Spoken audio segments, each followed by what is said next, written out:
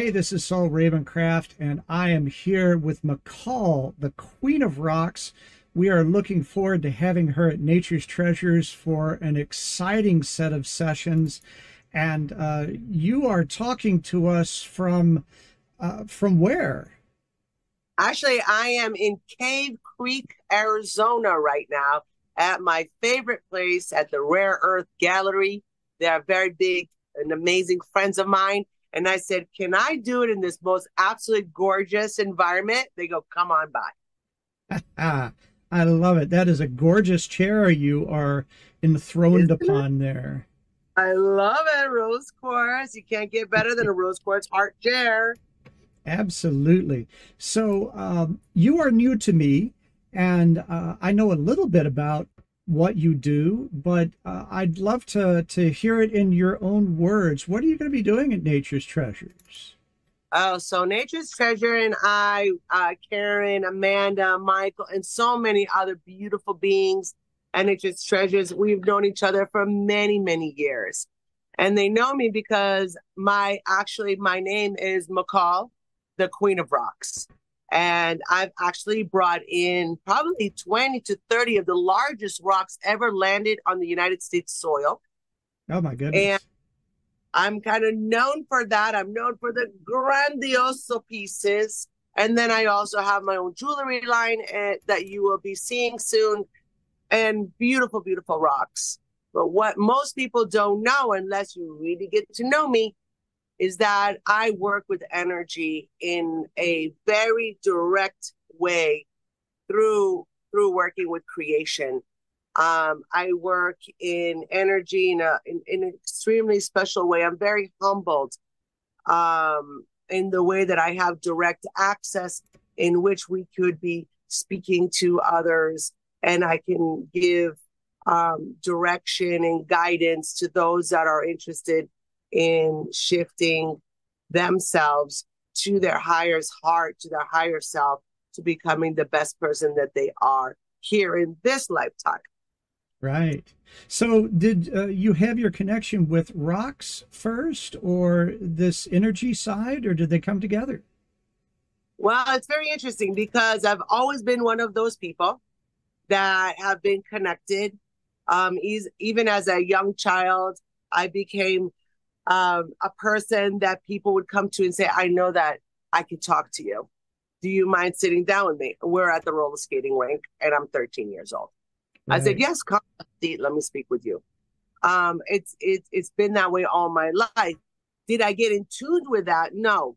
I really didn't know that there was something special uh, until I got older and my stuff was in me and I had a lot of stuff to clear out and went through many different processes to uh, figure it out what it was and then help release that and then get the reconnection. We all have connection. It's the reconnection, the remembering uh, of that. And one of the paths that went to was being in the rock industry. I end up being awakened by many people saying, Oh, your stomach hurt and do hands on healing. And I was like, What was that? I feel like I'm in a cloud. They're like, You will learn. And that was in my 20s. And then, and so on and so on. I met beautiful healers along the way.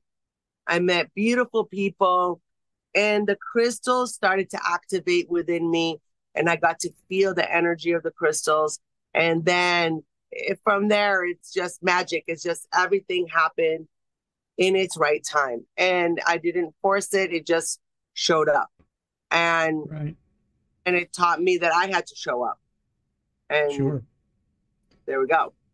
So they say that when the student is ready, the teacher appears. What kind of students, what kinds of people are going to benefit the most from connecting with you? Oh, um, that is a superb question. Those that are interested in really diving deep into who they are, into their higher heart. This is a uh, a space that we create, a portal that we create that is created by spirit to help people heal the toughest wounds It helps people heal themselves so that they can grow to be a spiritual being and help humanity. It is a place and a space in which being is the most important part. We are here as a soul, dropped down in the body for a short period of time to learn, explore, grow, and burn karma. And if we have this understanding and we really work at that, that this is who we really are right now, we kind of get to see that all this stuff that's happening is happening for your awakening. It's happening for you to reconnect. All the not so great things are happening because if you're on a hammock in Mexico, you'll not work on yourself. Right. Right. Well, Michal, I wish we had a lot more time, but that is all we have for right now. Uh, you have to come down to Nature's Treasures and meet her. Uh, I I'm just with you virtually, and I am absolutely feeling it. Thank you for spending the time with me. Thank you.